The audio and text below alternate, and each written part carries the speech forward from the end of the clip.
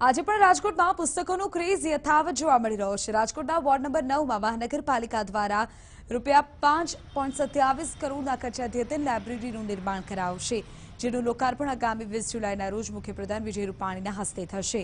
લોકો વધુ વાંચન તરફ આકર્ષાય તે માટે આધુનિક મોડર્ન લાઇબ્રેરીનું નિર્માણ કરવામાં આવ્યું છે.